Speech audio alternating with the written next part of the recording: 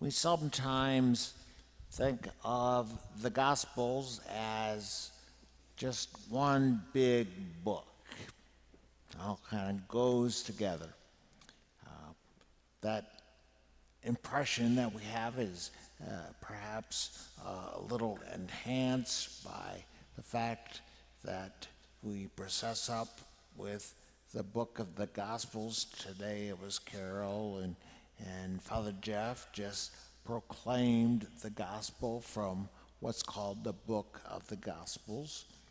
Uh, however, there are actually four different gospels contain, contained in that book Matthew, Mark, Luke, and John, sometimes.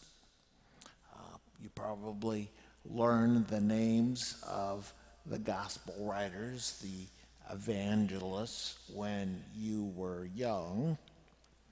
Uh, there are some similarities between these gospels. After all, they're, they're all writing about Jesus, telling stories about Jesus, but there are also some differences between the evangelists, between these, these gospel writers because each of them was writing to their own community. And there was something special about Jesus that they wanted to emphasize to their community. So, which gospel is the best? Uh, all of them and none of them. Which is to say, that the picture of Jesus that emerges from all four Gospels taken together is richer than the picture of Jesus that emerges from one Gospel all by itself. The fact, though, that there are four different Gospels uh, kind of leads us to have sometimes a a favorite gospel. For example, my favorite gospel is the Gospel of Matthew.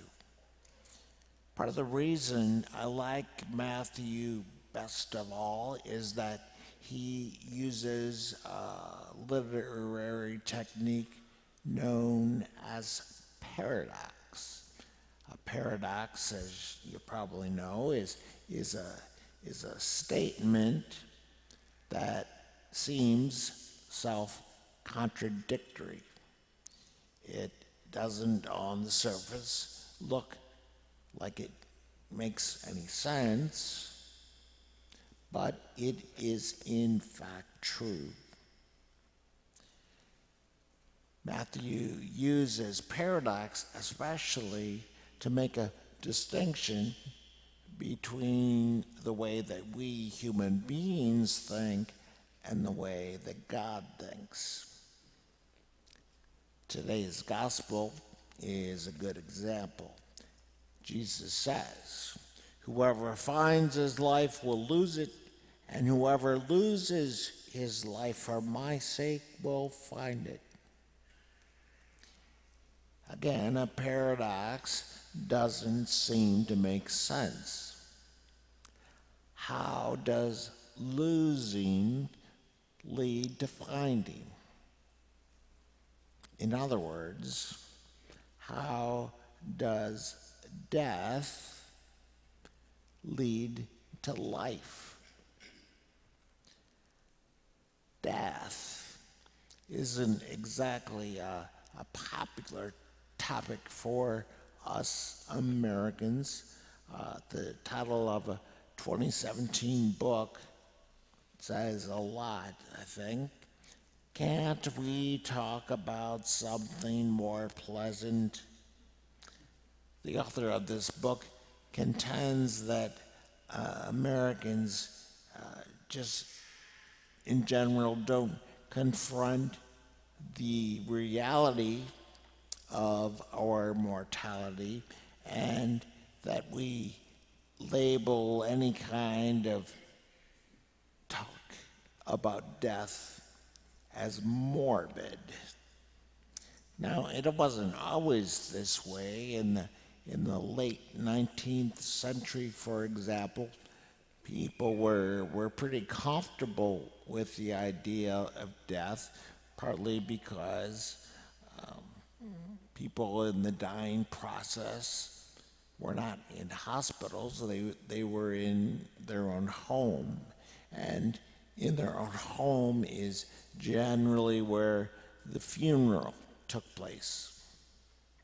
So, how do we all now become more comfortable with the idea of death? One way is, excuse me, to play, pay closer attention to today's gospel. Jesus is basically saying that we must choose. Choose to lose.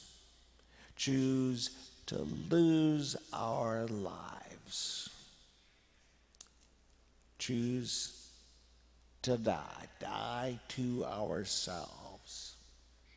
We die to ourselves by s- surrendering our own agendas for ourselves and embracing God's agenda for us.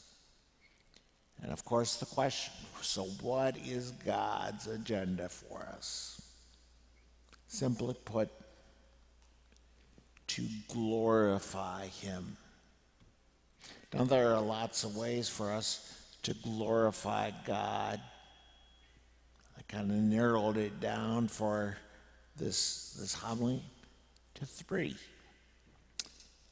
Glorify God by praising God with our words and with our actions, by serving the good of other children of God, and by trusting God more than we trust ourselves.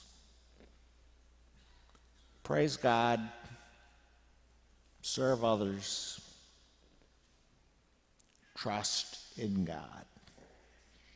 I did it like that because I can't make a three. I never, I never have been able to. Now I have an excuse. Again, praise God, serve others, trust God. Now, these are all ways of losing our lives.